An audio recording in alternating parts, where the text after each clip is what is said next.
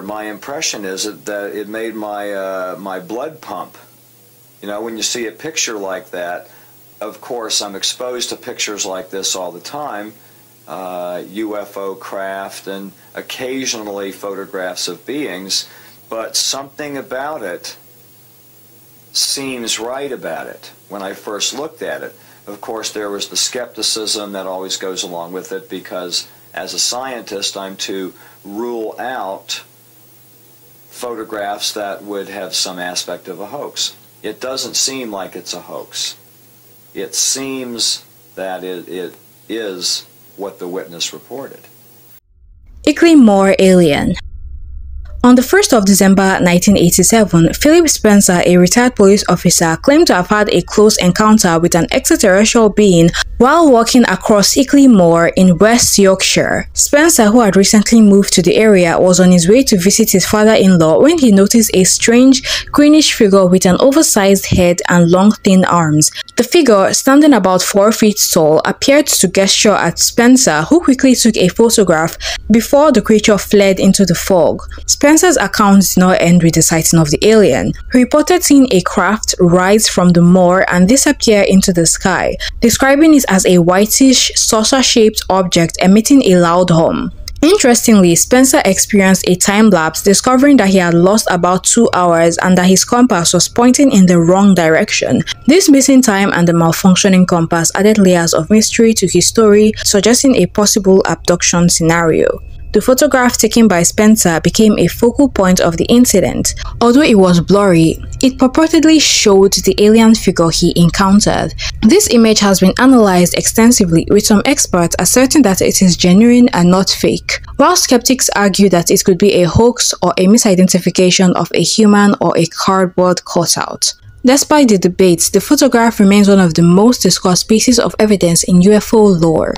Investigators like Peter Hugh examined Spencer's claims, with Hugh initially skeptical but later convinced of Spencer's sincerity. Philip Spencer's account of the Ilkley alien encounter underwent significant changes over time, particularly after he underwent regressive hypnotherapy. Initially, Spencer's story was straightforward. He saw a strange greenish figure on Ilkley Moor, took a photograph and experienced a time lapse along with a malfunctioning compass. However, following a session of regressive hypnosis conducted by James Singleton on March 16, 1988, Spencer's narrative expanded dramatically. Under hypnosis, Spencer recalled being abducted by the alien he had photographed.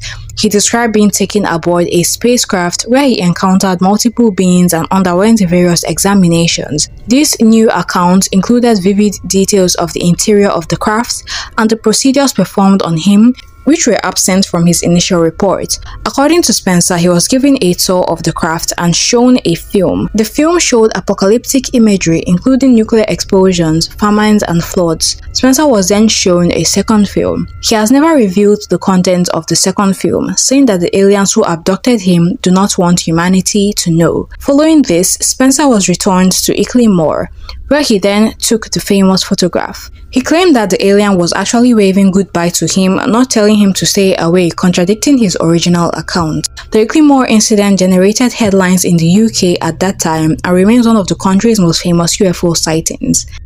Jacob's photographs the Jacobs photographs were a series of photos taken by R. Jacobs in 2007 that shows a furry primate-like creature appearing after two bear cubs were filmed at an earlier time. These images, taken by a Bushnell trail camera with an infrared flash, were initially intended to capture local wildlife, the photographs show what appears to be a bear cub in the first image, but the subsequent images depict a creature that some believe to be a young Sasquatch. The creature's posture and limb proportions have led to debate about whether it was indeed a bear with mange or an unclassified primate. The Pennsylvania Game Commission initially dismissed the creature as a mangy bear, a conclusion that many found unsatisfactory. Experts in primate anatomy pointed out that the creature's posture, particularly the way it bends down to sniff the ground, is more characteristic of an ape than a bear. This distinction is crucial because bears, even when suffering from mange, do not typically assume such a posture. The debate intensified as various experts, including zoo veterinarians, weighed in, suggesting that the creature's limb ratios and overall anatomy were more consistent with a primate. Elephant humanoid. The elephant humanoid is a cryptid reported to inhabit regions of Australia, particularly Narrabeen Lake in New South Wales. The first known sighting of the elephant humanoid occurred at 1.15 pm on April 3, 1968. On April 3, 1968, Mabel Walsh was driving along the Wakehurst Parkway near Narrabeen Lake in New South Wales, Australia, with her nephew John. It was around 1.15 pm when they noticed something unusual standing in the shallow waters of the lake. Mabel described the creature as being about 4 feet tall with dark grey, tough leathery skin similar to that of an elephant. He had small front legs and walked on its hind legs, which were thick and round, much like an elephant. This creature's head was particularly striking, resembling that of an ant-eater, with a rigid trunk that was squared off at the end and stuck out at an angle. Mabel noted that it had small eyes and no noticeable tail or ears. She recalled how the creature quickly exited the water and moved into the brush with a very fast speed. Despite its unusual appearance, it moved with surprising speed and agility. Mabel and her nephew were unable to investigate further as they were in a hurry to get John to the airport. The sighting was significant not only because of the detailed description provided by Mabel, but also because it was one of the earliest recorded encounters with the elephant humanoid. The account was later published on April 6, 1968 edition of the Daily Telegraph, which helped to bring attention to this mysterious creature. Kofu Fanged Humanoids The Kofu Fanged Humanoids incident took place on the evening of February 23, 1975 in Kofu, Yamanashi, Japan. It involved two young boys, Masato Kawano and Katsuhiro Yamahata, who reported a close encounter with strange fanged humanoid beings. The boys were roller skating near the Hinode housing estate, where they noticed two glittering orange UFOs in the sky. One of these objects descended and landed in a vineyard, prompting the boys to investigate. As they approached the landed craft, they described it as a domed silver disc standing approximately 7 feet high and nearly 15 feet in diameter. The craft had strange characters embossed on its metallic surface and emitted an odd crackling or ticking sound. The boys watched in awe as a hatch opened on the side of the craft and a ladder extended to the ground a bizarre humanoid creature, approximately 4 feet tall with long arms, dark brown wrinkled skin, and 2 inch long metal fangs emerged from the ship. This being wore a reflective silver uniform and communicated in sounds that resembled a tape recorder running backwards. The boys also noticed another similar humanoid inside the craft. The Kofu entity's skin was described as being dark brown and covered in wrinkles so dense that they obscured any noticeable figures, saving three 2-inch long metal fangs. One of the humanoids placed his hand on Yamahata's shoulder, patting him twice, which caused him to collapse to the ground, paralyzed. Kawano quickly pulled his friend up and carried him away from the scene. Upon returning home, the now almost hysterical boys immediately informed their mothers about this bizarre close encounter. The boys' curious mothers returned to the site with their sons and also witnessed an orange light pulsating in the vineyard. This light show continued for about 5 minutes before the UFO launched with a burst of light so bright that the eyewitnesses were compelled to avert their eyes. The authorities of Civil Aviation Bureau of Transportation Ministry claimed that the UFO was nothing more than the light of YS-2 propeller plane, which often flew at an altitude of 1000 meters and was visible to the naked eye. They apparently reserved their comments as to whether or not the aircraft could also assume the form of small pointy-eared fanged humanoids. Alien Bigfoot Alien Bigfoot is a cryptid that is typically sighted shortly after a UFO sighting. The sightings are mainly in Pennsylvania. On the night of July 31st, 1966, a group of four friends were having a vacation at a local beach in Pennsylvania. When they went to leave, their tire was stuck in the mud. One of the boys went to find a tow truck, leaving the other boys and two girls alone. Several hours passed and the friend still wasn't back. Then, in the night sky, they saw a figure flying. They took a close look and didn't know what it was. A purple flash of light beamed in the sky and the UFO-like figure summoned a bluish-purple light to the ground and flew off. Then a policeman showed up, wondering why they were sitting there at the late time it was. They explained that they were stuck and they were waiting for their friend to get back. The officer offered to go take a look, so the other boys went along, leaving the two girls alone. Later, they saw something rustling in the bushes. Then a 6 to 8 feet tall figure trudged out and growled at the two. They were very frightened and the beast ran up and attacked their car. Eventually, when the others got back, the girls told their story. Another sighting took place in 1966 in a very southern part of Pennsylvania. A woman was sitting in a chair. Then she heard something on her back porch. She thought a pack of dogs had returned, so she got her gun. When she got out, she saw a hairy humanoid about 50 feet away. She took a shot at it, but it teleported away.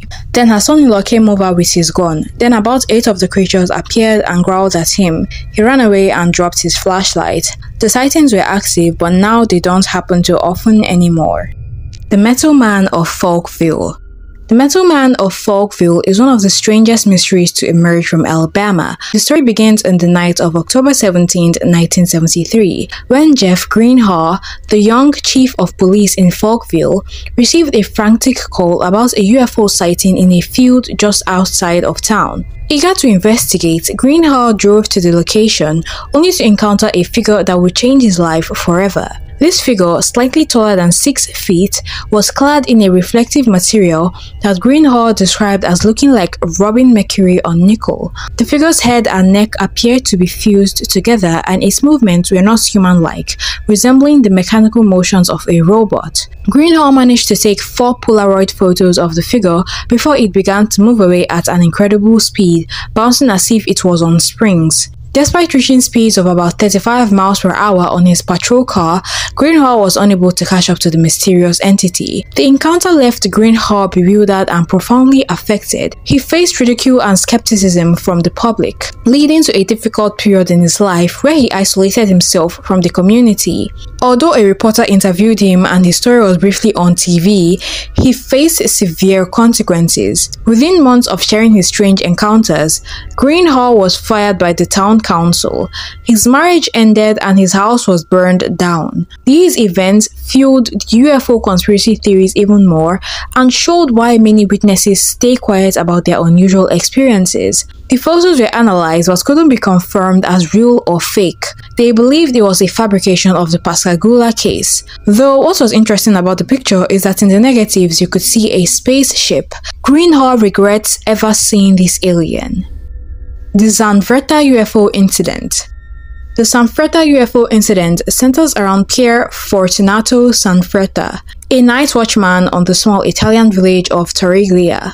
On the night of December 6, 1978, while on a routine patrol, Zanfretta reported seeing a large red oval object in the backyard of a villa he was inspecting. The object, which he described as being over 10 meters in diameter, was just the beginning of a series of bizarre events that would unfold over the next few years. According to Zanfretta, he encountered beings that were nearly 3 meters tall with melted skin, yellow triangular eyes, and clawed feet. These beings, which he later described in more details under hypnosis, were green with wrinkled skin, pointed ears, and mouths that appeared to be made out of iron. Zanfretta claimed that these creatures abducted him and took him aboard their craft, where he was subjected to various examinations. The incident did not end there. Over the next three years, Zanfretta claimed to have been abducted by these beings a total of 11 times. Each encounter added more details to his story, including descriptions of the aliens' home planet and their advanced technology.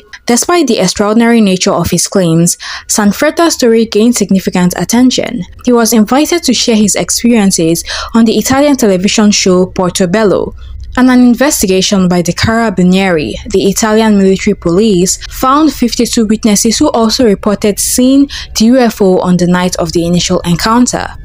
Flannel Shirt Sasquatch.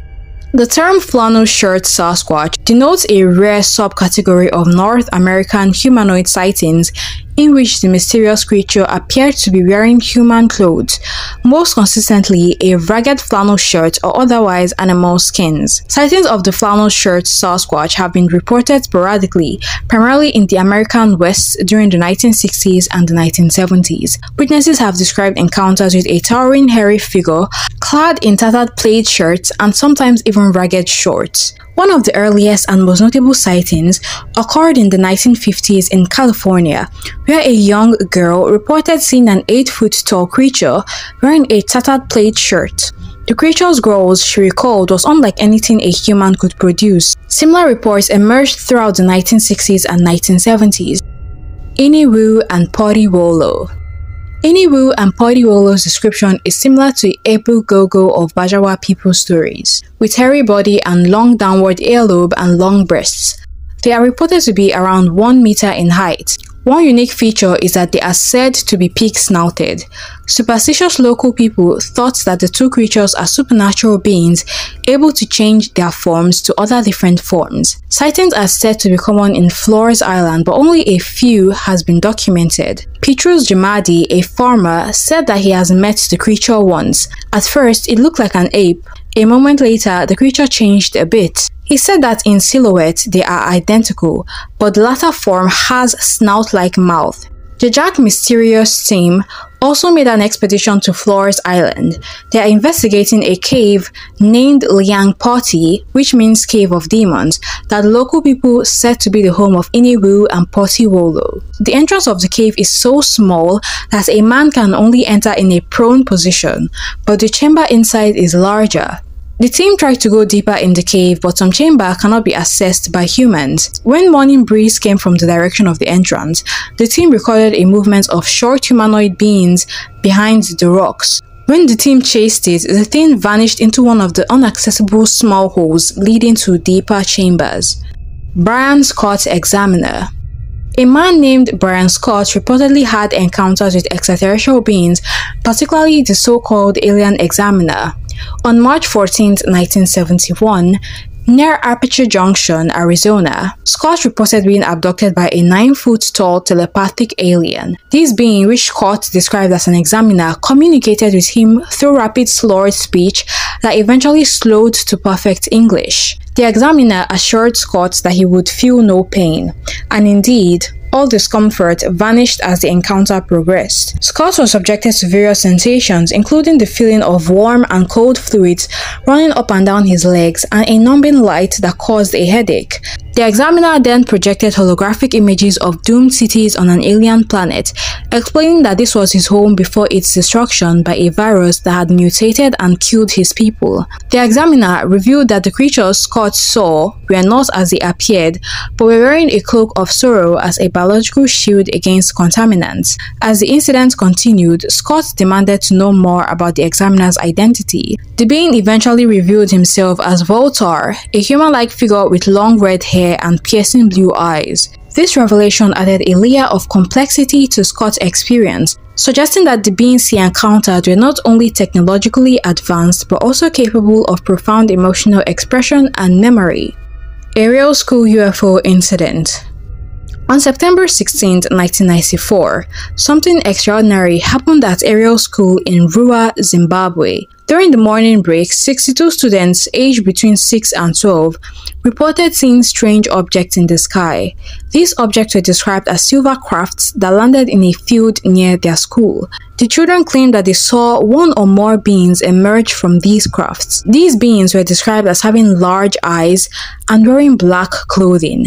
Some of the children said that the beings communicated with them telepathically, sending messages about the environment and the importance of taking care of our planet. The sightings at Ariel School occurred at 10 a.m. on September 16, 1994, when pupils were outside on their mid-morning break. The adult facility at the school were inside having a meeting at the time.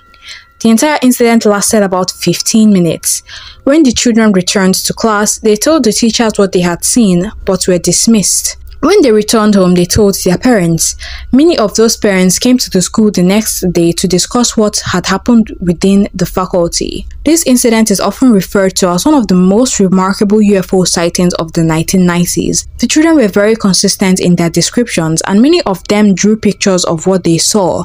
These drawings showed similar details, which added credibility to their accounts. The event was investigated by several researchers, including Cynthia Hind, a local UFO researcher, and John Mack, a Harvard psychiatrist. They interviewed the children and found their stories to be sincere because apparently most of the children all told the same story. The Ariel School UFO incident quickly became one of the most famous UFO cases in Africa. On a June 2021 episode of BBC's Witness History, the event was described as one of the most significant events in UFO history. However, not everyone believed that the Ariel School UFO incident was a genuine encounter with extraterrestrial beings. Some skeptics suggest that it could have been a case of mass hysteria, where the children influenced each other's perceptions and memories, or simply a prank. In the following years, there were more interviews with the alleged witnesses. Pé de Garrafa the Pé de Garrafa, also known as bottlefoot, is a cryptid reported to live in the Brazilian Amazon. It is described as a human-like ape standing about 5 feet tall. It has long hair, black skin, and a distinctive white navel. One of its most unusual features is a horn on its forehead. Instead of a feet, it has large hands, and it leaves tracks that looks like the base of a bottle pressed into the ground. These tracks are evenly spaced and avoid obstacles. People who claim to have seen the Pé de Garrafa say that it can stare intensely, almost as if it is trying to hypnotize them. It is also known to roar loudly, which can be quite frightening. Nasnas the Nas is a creature from Arabian folklore. It is described as a monstrous being that is only half human. According to the stories, the Nas is a half human being with half a head, half a body, one arm, and one leg.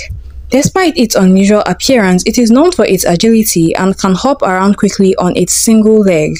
The Nasnas is said to have the power to kill a person just by touching them, making the person fleshless in mere seconds. The origins of the Nasnas are deeply rooted in Arabian mythology. It is believed that the Nasnas lived on Earth alongside the Jinn before humans were created. According to some stories, the Nasnas and Jinn caused much destruction and bloodshed which led to their replacements by humans.